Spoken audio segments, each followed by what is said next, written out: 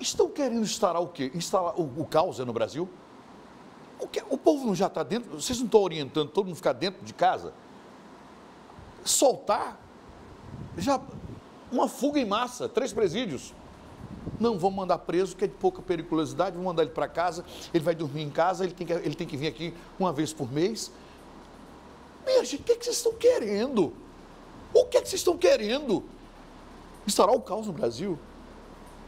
Ah, eu estou sentindo um cheiro aí. Eu, esse matuto, vou dizer, eu não troco meu diploma, sabe, da sétima série por muito não. Não troco não. Elis, sabe o que está me cheirando aí, Elis? Lá vem o ignorante. Lá vem, eu sou ignorante. Eu sou, eu, eu, José Siqueira Barro Júnior. Eu sou ignorante. Lá vou eu. Isso está me cheirando um chamado pelos homens verde oliva. Está me parecendo botar os caras na rua.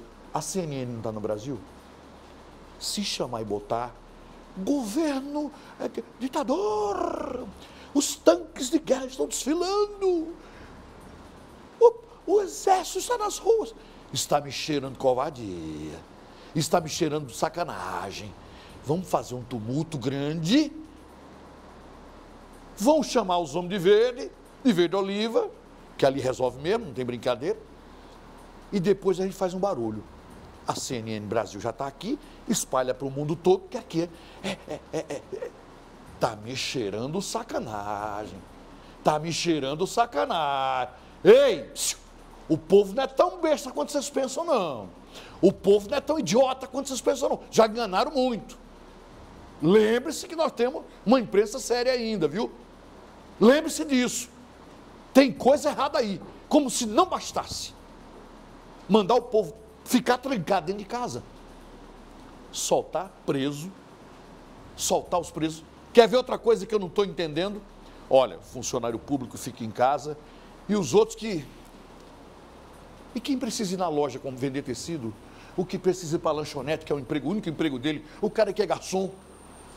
Que legal! Ah, esses não pegam vírus, não. Só funcionário público. Vai a merda, rapaz! Só a merda. O preso tem mais vantagem, tem mais vantagem de proteção do que um cidadão comum.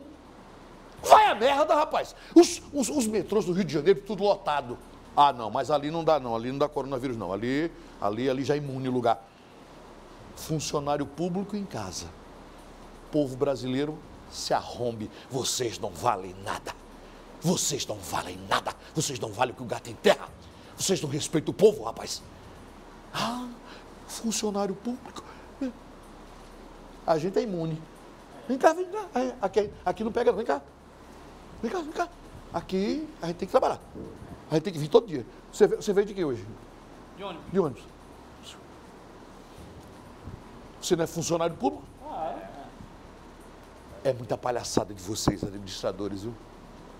Não, home officer, trabalha em casa.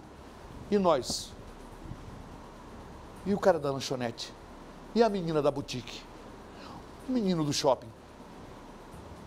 Como é que faz? Pode morrer? Os ônibus lotados. Os ônibus lotados.